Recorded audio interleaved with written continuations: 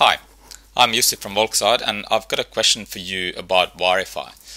So Wirify is our tool for turning web pages into wireframes. I've received a lot of positive feedback on the tool so far, but um, I've also received comments saying that um, it may be a bit too radical in getting rid of all that content on the page. So obviously right now what the tool does, it just replaces everything with boxes. Uh, there's no images, there's no text uh, whatsoever, which is kind of the point.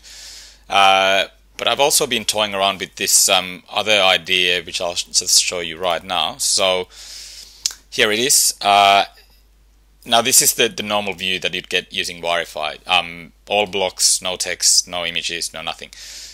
Um, what I've added though is, is this little slider, which is essentially the level of detail. So if I drag that, I can actually start exposing some of the, the underlying detail of the page and then go completely the original and then back to the wireframe again.